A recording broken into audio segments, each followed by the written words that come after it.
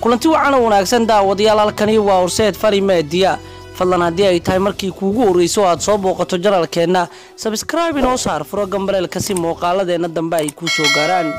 Muuqaalka warbixintan waxaanu ku soo qaadan doonaa qisada jaceyl ee shirkadda bowluudka gilgishay taasoo ka dhexaysa aktarka caanka ee shaaruqan iyo xaaskiisa gooriqaan qisadan jaceyl waxay soo bilaamatay shaaruqan markii uu jiray da-da siddeed iyo toban sano waxa uu weydiistay gabadhaasi in uu la jaaso iyo noloshiisa oo isbeddel ballaaran ku timi kadib markii qofka dunida ugu jecel yahay uu gacanta ku dhigay. Shirkadan bowluudka waxay soo saartaa filimo jacayl sanad weliba agtaro badan ayaana jira laakiin subarstarka ka mida jirayaasha jacaylka looga haray shaaruqan waxaad moodaa inuu kulansaday marka loo ego qisadiisa jacayl. Dhammaan qisooyinkii lagu jilay shirkadan bowluudka filmadeeda jacaylka haddaba waxa uu ku jiraa agtarada dhanka jacaylka loo tixgeliyo laakiin qisadiisa jacayl ayaan gudageli doonaa ee sidee ku soo bilaamatay. Waa jacayl aragtidii koowaad ka bilaabmay. Shaaruqan indhaha ayuu qac ku siiyey goori jibar markii ugu horreysay xaflad guud oo si saaxiibtinimo loo dhigay afartii keliya waxa uu jiray siddeed iyo toban sano waxa uu arkay iyada oo wiil kale la jaasaysa. Aad ayuu uga cadhooday waxaana uu rabay inuu weydiisto in iyada ay la jaasto. Laakiin wiilkaasi waxa uu durbadiiba u qaatay saaxiibkeeda. Balse maxaa dhacay? Maruu wax laga weydiiyey arrintaasi waxa uu ku jawaabay in uu mar dambe weydiiyey gabadha. Mar dambe oo ay isbarteen ayna u sheegtay wiilkii ay la jaasaysay in uusan ahayn saaxiibkeeda ee uu ahaa walaalkeeda. Intaannu kaga tillaabno aragtidii koowaad iyo jacaylkii dhacay.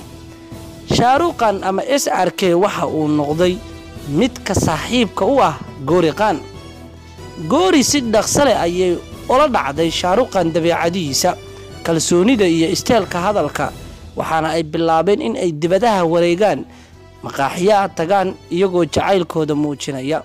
Laakiin shaaruqan waxa uu ku jiraa da'da qaangaarnimada gooriina waxa ay iyaduna isha markaa ku haysaa ama ay la sii gelaysaa inay noqoto gabar wax walba kala garata. Waxaa dhacday goori iyo shaaruqan in ay kala haraan. Arrintaasi ayaannu imaka eegi doonaa. Xiriirka jacaylka iyo sidii lagu gartay.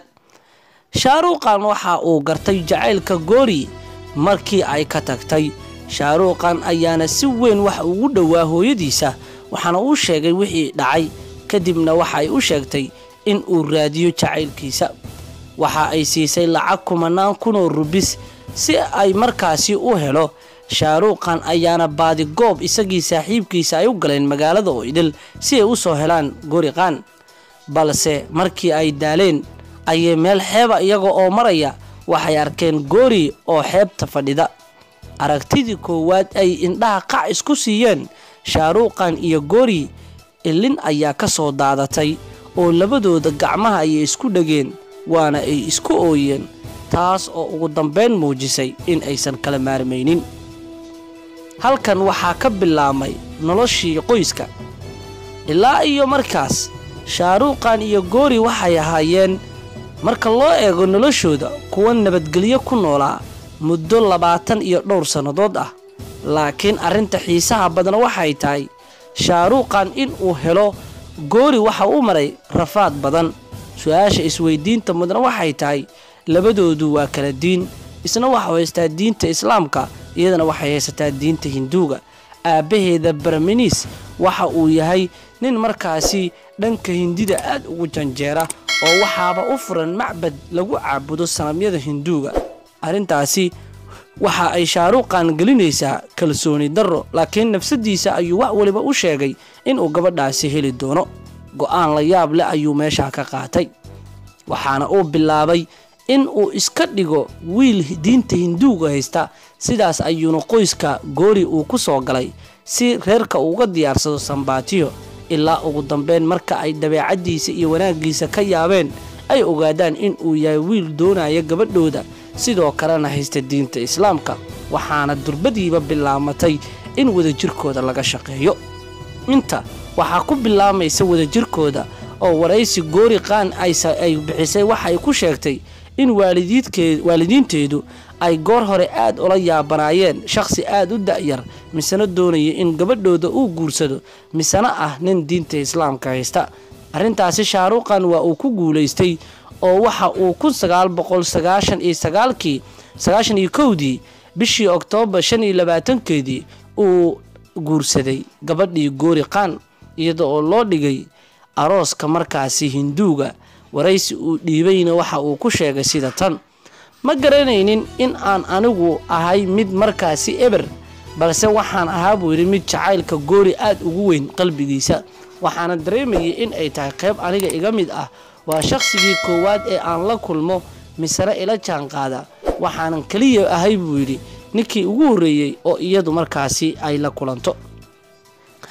Xiriirkooda maanta markaanu eegno dhowr iyo labaatan sannadood kadib waxay yihiin lamaanayaal aan marnaba khilaaf soo kala dhexgelin shaaruuqan iyo goori qaan waxa ay dhaleen aryana qaan sohana qaan iyo abraham qaan oo dhammaantood ah ilmihii shaaruuqan iyo goori qaan shaaruuqan marka adeegto filimada hindida sheekadiisa jecel ayaa soo koobaysa. Isagoo aad u da-yar ayuu aragtida koowaad wax ku jeclaaday. Waa tan filimada hindida marka agtarka iyo gabadha la istusayo aragtida koowaad ay iska helayaan. Kasii soco waxa uu maray rafaad badan isagoo iska dhigaya wiil hinduu ah oo diinta hinduugu haysta si jacaylkiisa uu helo. Meeqa filin ayaad ku daawatay arrimahaasi isku soo wada duub khilaaf la'aanta shaaruuqan iyo xaaskiisa waxaa keenay shaaruuqan sababtoo ah gabadhani kuma uusan helin ciyaar ciyaar ee waxa uu ku helay rafaad badan iyo dareen jacayl oo badan oo murugo leh.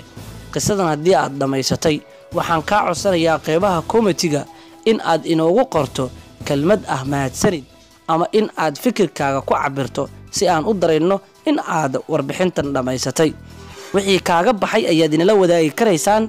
Sabskribe saaro horseed fani media. Furo gambaleelka si muuqaaladeenna dambe ay kuu soo gaaraan. Waanu kaaga mahad celinaynaa mahadsanid